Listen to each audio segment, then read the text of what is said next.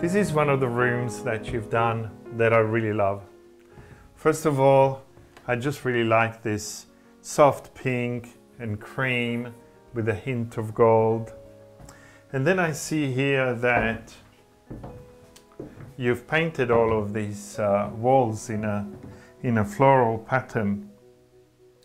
And it looks like it's coming Voilà. from here. So this is quite incredible. Sont les volubilis.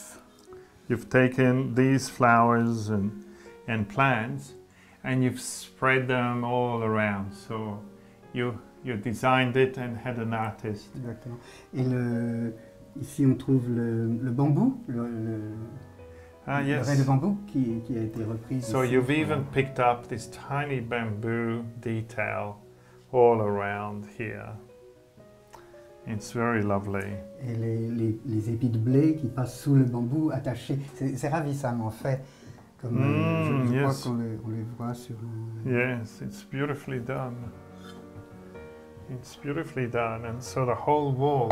And I can see here looks like you you're planning to put a baldachin Exact. Over the bath, and here we have some lovely lead light in the neo Néo-gothique. neo Gothic style.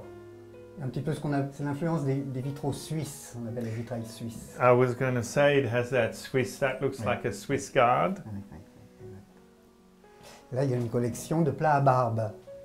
Les- Ah, L'échancrure ici est pour mettre le cou et c'était pour les barbes. So this is uh, to wash Oui. the beard that goes at the neck, and the beard can be swirled in that. That's gorgeous.